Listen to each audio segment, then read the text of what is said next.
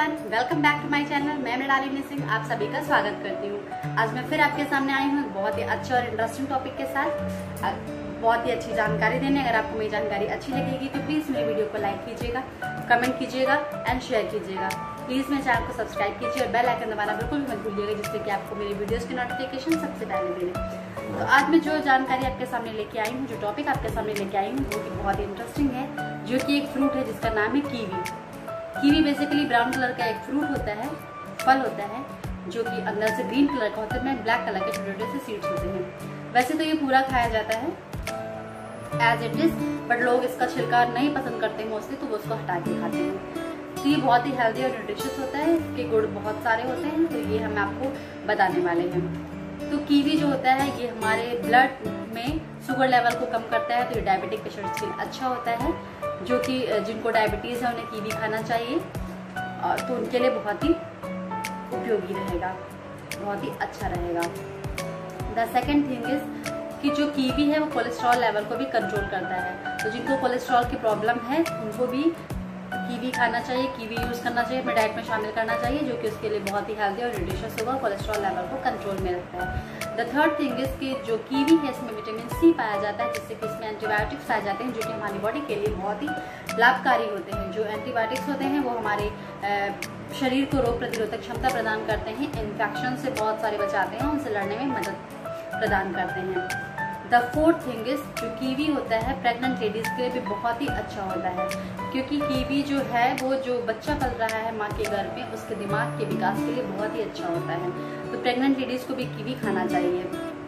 The fifth thing is जो ढलती उम्र की समस्याएँ होती हैं, जैसे जैसे कि ऑर्थराइटिस ऑस्टियोपोरोसिस तो क्या होता है, कीवी में पोटेशियम पाया जाता है, जो कि हड्डियों और मांसपेशियों की मजबूती के लिए बहुत अच्छा होता है।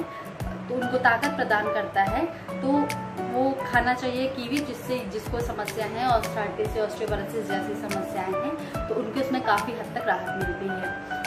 द सिक्स थिंग की जो कीवी होता है, वो जो इसमें फाइबर पाया जाता है तो जो पेट से रिलेटेड दिक्कतें होती हैं, जैसे कि कप्स दस्त पाइल्स जिसे कि बवासीर कहते हैं पेट दर्द, इन सब की समस्याओं से छुटकारा दिलाने में काफ़ी हद तक मददगार होता है। तो ये भी बहुत फ़ायदेमंद होता है पेट के लिए, क्योंकि इसमें फाइबर पाया जाता है तो कीवी पेट के लिए भी बहुत अच्छा होता है। द सेवन थिंग जो कीवी होता है, वो हमारे जो स्किन पे कोलेजन पाया जाता है, उसको एक्टिव करने के लिए विटामिन सी की ज़रूरत होती है। कीवी में विटामिन सी पाया जाता है, जो कि हमारे कोलेजन को स्किन पे उपस्थित कोलेजन को एक्टिव करता है, जिससे हमारा स्किन स्मूथ ग्लोइंग और सॉफ्ट बनती है, झुर्रियाँ नहीं पड़ती, जो कील मुहासे नहीं होते हैं ब्लैक हेड्स नहीं होते हैं तो जो स्किन से रिलेटेड प्रॉब्लम्स होती हैं वो बहुत अच्छा बनाती हैं स्किन को कीवी तो इसको हमें अपने डाइट में शामिल करना चाहिए। और मैं पहले बता चुकी आपको कीवी जो है इसमें विटामिन सी पाया जाता है, इस वजह से ये हमारे वज़न को भी कम करने के लिए काफ़ी मददगार होती है। तो कीवी के ये बहुत सारे फ़ायदे होते हैं, हमें अपने डाइट में शामिल करना चाहिए, ये बहुत ही लाभप्रद होती है।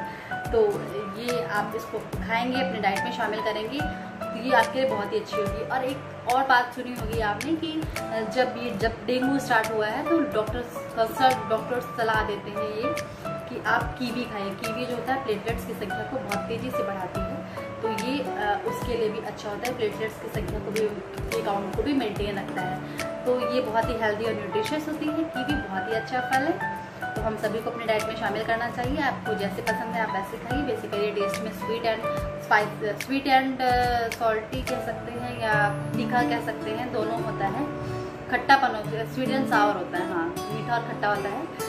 तो इसको आप सैलड में खाइए फ्रूट चाट खाइए बना के या बहुत लोग इसके स्वीट डिशेस बनाते हैं, बहुत लोग उसके सब्ज़ी में रॉ वेजिटेबल्स में यूज़ करते हैं।